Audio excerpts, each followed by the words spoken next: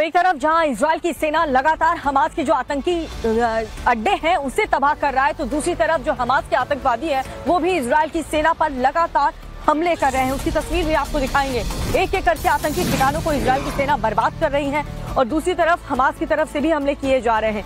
ये बड़ी खबर, ड्रोन से आईजीएफ के कैंप पर हमला किया गया, बख्तरबंद गाड़ी को बम से उड़ाया गया। हमले का जो वीडियो सामने आया है, उसमें ड्रोन हवा में बम लेकर के इजरायली सेना के कैंप पर निशाना लगाता साफ़ तौर पर दिखाई दे रहा है। हमास ने इजरायली सेना पर किस तरीके से हमला किया है? तस्वीरों के माध्यम से हम आपको दिखा रहे हैं। ड्रोन से आईडीएफ के कैंप पर यह अटैक किया गया है। बख्तरबंद गाड़ी को बम से उड़ाया गया है। और लगातार देखिए, दोनों तरफ़ से वीडियो जारी किए जा रहे हैं। जब आईडीएफ की तरफ़ से ऑपरेशन किया जाता है, आतंकी ठिकानों को उड़ाया जाता है, उसका वीडियो भी जारी किया जाता है। और हमास की तरफ़ से देखिए किस तरीके से ये वीडियो जारी करके बताया गया कि हम रुकने वाले नहीं हैं। और जब तक सांस लड़े रहेगी, हम लड़ते रहेंगे। और यही वजह है कि आईडीएफ का जो कैंप बना हुआ है वहाँ पर बख्तरबंद गाड़ियों को बम से किस तरीके से उड़ाया गया है, इस वीडियो में आप देख पाएँगे। जोरदार धमाका होता है और जिस जगह को हमास ने टारगेट किया, वहाँ पर इसराइल की फौज जो है, वो उसकी बख्तरबंद गाड़ियाँ मौजूद थी। और अब देखिए, गाजा के साथ साथ वेस्ट बैंक में भी इसराइल का ऑपरेशन जो है, वो चल रहा है, क्योंकि इधर से भी अटैक इसराइल के ऊपर किए जा रहे हैं, कई शहरों के ऊपर अटैक किए जा रहे हैं। और यही वजह है कि इसराइल के जो सैनिक है, वो इस वक्त चौतरफा लड़ाई लड़ रहे हैं। वेस्ट बैंक के दुबास में इसराइल का रॉकेट गिरा है। तो दुबास में एक मकान को इसराइल ने उड़ा दिया। हमास आतंकियों का अड्डा होने का यहाँ पर शक था, जिस वजह से यहीं पर हमला किया।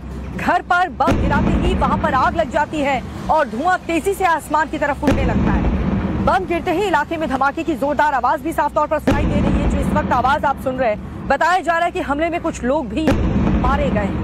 लेकिन उनका आंकड़ा कितना था ये अभी तक साफ़ नहीं हो पाया है। गाजा के बाद वेस्ट बैंक हमास के आतंकियों का बड़ा अड्डा जो है वो बन चुका है जिसके बाद इसराइल की सेना वहाँ पर हमास के लोगों को चुन चुन कर मार रही है। और किस तरीके से वहाँ ये ऑपरेशन चला रहे हैं इसराइली सैनिक उसकी ये तस्वीरें सामने आई हैं। आपको गोलियों की आवाज़ आपको बम से जो ठिकाने हैं उसको उड़ाने की आवाज़ जो है वो सुनाई देगी। तो लगातार यहाँ भी ऑपरेशन जो है वो जारी है। और देखिए, जंग के बीच जो इसराइल के प्रधानमंत्री हैं, बेंजामिन नेतन्याहू, उनकी तरफ़ से एक बार फिर से हमास को धमकी और चेतावनी दे दी गई है कि अगर जंग हमास की तरफ़ से नहीं रोका गया तो सब कुछ बर्बाद कर देंगे। ये बड़ा बयान उनकी तरफ़ से आया है। हमास आतंकियों को पीएम नेतन्याहू की ये चेतावनी। सब कुछ खत्म हुआ। अब सरेंडर ही एक रास्ता है। सरेंडर नहीं करोगे तो जंग में मारा जाना तय है। हमास के कई आतंकी अब तक सरेंडर कर चुके हैं। जब से हमास के खिलाफ ये जंग शुरू हुई है तब से इसराइल के पीएम नेतन्याहू एक ही उनका मकसद है और वो लगातार चेतावनी भी दे रहे हैं क्या कुछ कहा है उन्होंने आपको सुनवाते हैं בימים האחרונים עשרות מחבלי חמאס נכנעים בפני כוחותינו. הם מניחים את נשקם, הם מוסרים את עצמם לידי לוחמינו הגיבורים. זה ייקח עוד זמן, המלחמה בעיצומה, אבל זה תחילת הסוף של חמאס. ואני אומר למחבלי חמאס, זה נגמר. אל תמותו בשביל סינואר. תיכנעו, עכשיו. गाजा ही नहीं देखिए किस जी गाजा ही नहीं वेस्ट बैंक पर भी देखिए अ, इजरायली सेना जो है अटैक कर रही है लेकिन इसके साथ साथ पड़ोसी देश की बात करें लेबनान की तो लेबनान में भी जो हिजबुल्ला है वो लगातार इसराइल के ऊपर अटैक कर रहा है जिसको इजरायली सेना जवाब दे रही है हिजबुल्ला के ठिकानों पर भी जो है बम बरसाए जा रहे हैं, गोला बारूद जो है वो दागा जा रहा है। वहाँ से भी जो तस्वीरें सामने आई हैं, वो हम आपको दिखाते हैं। देखिए जरा किस तरीके से यहाँ भी इजरायली सेना जो है ऑपरेशन चला रही है और हिजबुल्ला के ठिकानों को निशाना बनाया जा रहा है। जी हाँ तुरंत ही इसराइल की तरफ़ से भी अटैक किया जा रहा है, बदला लिया जा रहा है और ये तस्वीर उसी सच्चाई को बयां करती है। जरा देखिए किस तरह से एक के बाद एक कई बम आसमान से हिजबुल्ला के आतंकी अड्डों पर बरसाए जा रहे हैं इसराइल की तरफ़ से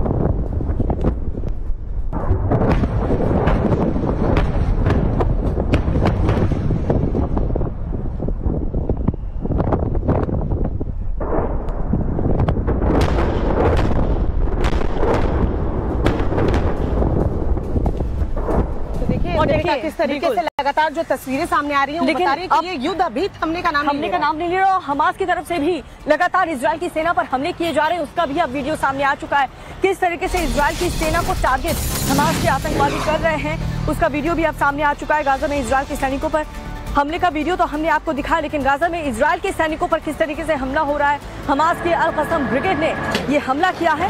हमास के आतंकियों ने इसका वीडियो भी जारी किया और जो वीडियो हमास की तरफ़ से जारी किया गया है, उसमें ये दिख रहा है कि इसराइल के जवान गाजा में ग्राउंड ऑपरेशन को अंजाम दे रहे हैं और तभी तभी हमास के आतंकी उन पर छिप करके हमला कर रहे हैं